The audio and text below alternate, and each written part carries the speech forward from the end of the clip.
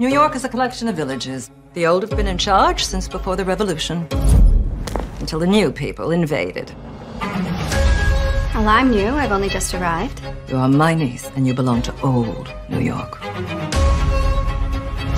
George Russell is a power in the land. Before long, he'll put money into his pocket with every train ticket you buy. I think we should know the Russell family. We do not move in the same circles. Mama, you are incorrigible. I take that as the highest praise. Mrs. Van Rhijn and her sad sister were spying on me today. I don't know why you bother with them. I don't bother with them. I'm afraid New York can be quite challenging at first. We haven't found it so, have we, George?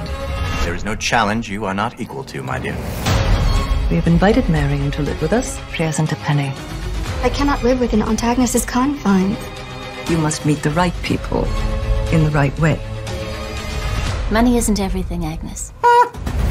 I don't understand why they have taken you in. I have a job and the fresh start that I need. I want to do something with my life. For a New Yorker, anything is possible. You are the future, Mrs. Russell. And if you are the future, the name must be the past. Well, things move faster nowadays. I hope you're not against Miss Scott. She'll disrupt things. Maybe we need a bit of disruption. Let the tournament begin. Why don't we just go outside and roll in the gutter? It will save time.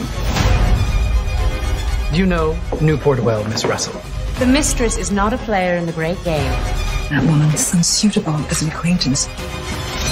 I'll make them pay one day. This is not a game for weaklings. We've taken you for a fool when it is we who are the fools. I won't fight you on that one.